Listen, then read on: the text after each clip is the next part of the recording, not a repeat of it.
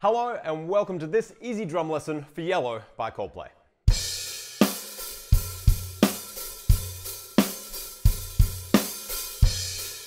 The acoustic guitar riff starts the song, it plays for four bars, and then the drums come in playing this pattern.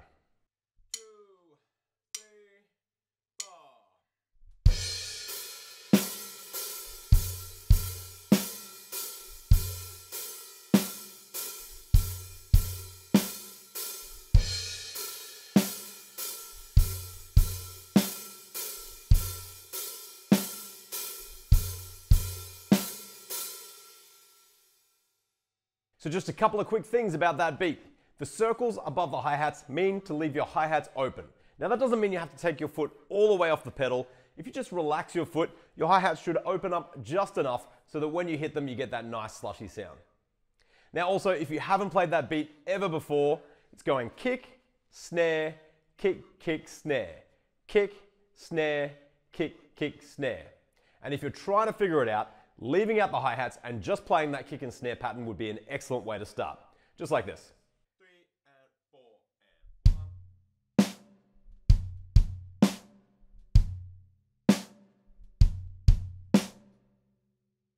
And then the final thing is that there's a crash cymbal right at the start of that beat and then also in the third bar. It's something that can take a little bit of getting used to, but try and just think of it as replacing your first hi-hat. So you're just moving that right hand onto the crash cymbal, pretending like it was the first hi-hat, and then continuing on with the beat for the rest of the groove. So hopefully those are a couple of tips that will make playing that beat a little bit easier so you can get up and running this song in no time. Moving on, we're straight into the verse, and this is another pretty straightforward beat.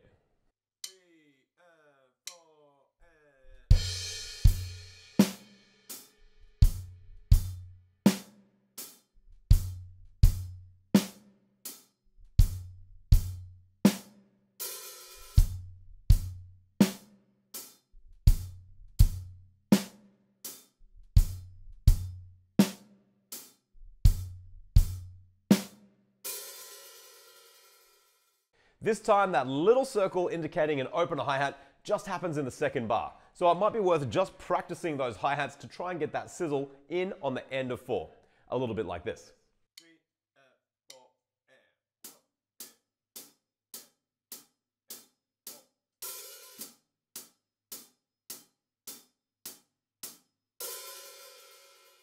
That might take a little bit of coordination just to get all of those things lined up, and if you need to break them down into their individual parts, that's absolutely fine and actually a really good way to learn the drums.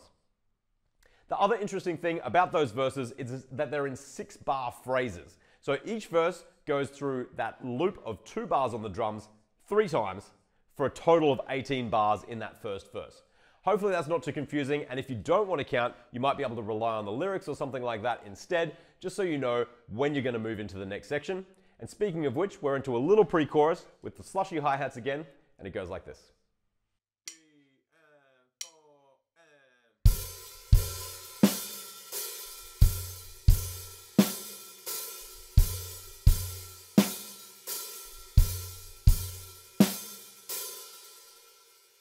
So that's essentially just our verse beat, but with open hi-hats, building things up as we move into the chorus. Now for the chorus, we're going to move the right hand over onto the ride cymbal, change the kick pattern just a little bit, and now this is going to lock in really nicely with what's happening in the bass guitar in the song. And this is something that happens on drums all the time, is the kick drum and the bass guitar play similar rhythms to really reinforce and create a really solid foundation for the rest of the song to float on top of. So if you can keep an ear out for that, that's really going to help you to stay in time and really lock in when you're jamming along to this song. Anyway, just slowly, here's the whole of the chorus.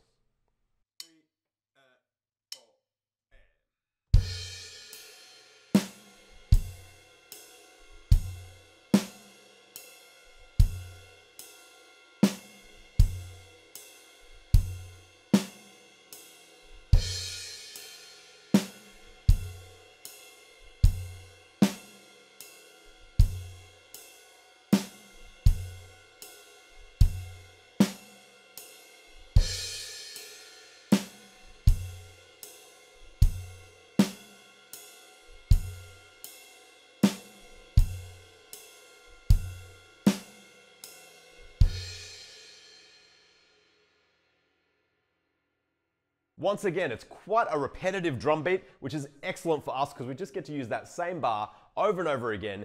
Just don't forget those crash cymbals every now and again. And then at the end of the chorus, the vocals just float over the top and the drums have a little break. From there, we go back into the riff section at the very start of the song. We go back into the verse, only playing two times through that six bar loop this time. Then we have the pre-chorus again, and then the chorus again, and now we're into the outro. And this is how the drum beat goes for that section.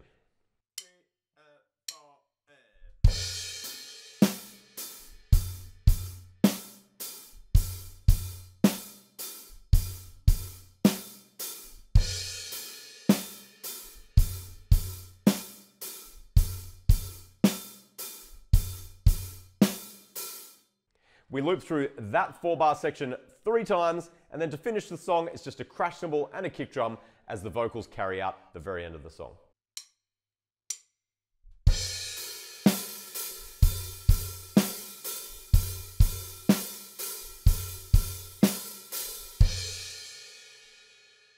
And there you have it. With those four main sections, you'll be able to play Yellow by Coldplay on the drums in no time.